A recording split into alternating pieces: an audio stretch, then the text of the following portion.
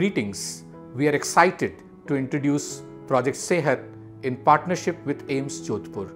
Sehat, meaning health, will steer equitable health access for tribals. Indigenous tribes in India are considered as the most marginalized and vulnerable social group.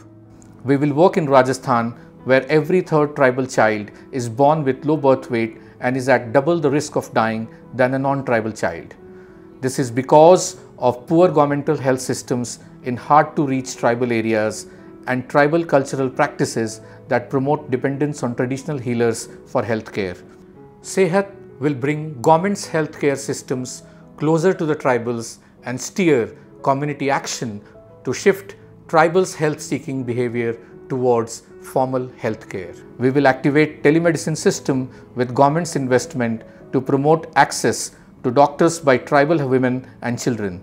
The behavior change interventions via community collectives and local champions will build demand for and faith in government's healthcare services.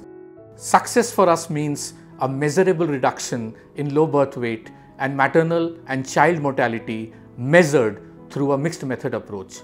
Sehat will benefit 800,000 tribal women and children in five years.